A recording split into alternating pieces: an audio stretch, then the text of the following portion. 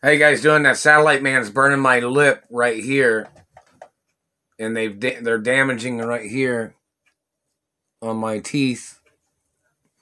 The satellite man's burning me right there. That's attempted murder. I'm not your plaything, government man. I'm not your toy. I'm not your child. You don't own me, satellite man. You're violating laws and you're going to go broke. You're going to be sued for every goddamn penny you got. And you're going to be sitting behind bars for the rest of your fucking life, you fucking terrorist. You have no right to be touching me, you psycho freak. They need to put you in prison for the rest of your fucking life, psycho man. The satellite man's burning my lower lip and right in here too. And they've damaged the teeth on the bottom. They're doing it right now, and the date is January 2nd, 2021. It's 11 11 p.m. Indianapolis, Indiana time.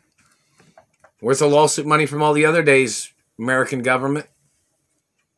It's more lawsuits because I didn't get paid the last lawsuits.